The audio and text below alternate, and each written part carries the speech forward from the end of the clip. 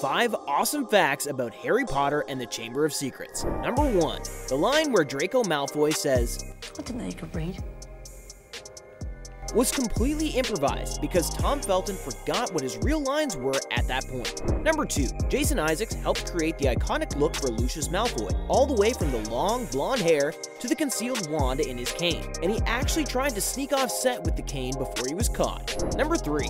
Shirley Henderson was the oldest actress to portray a Hogwarts student throughout the series, as she was actually 37 when she played the role of Moaning Myrtle.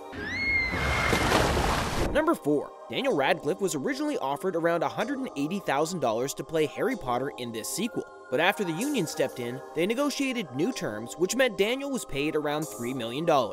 Number 5.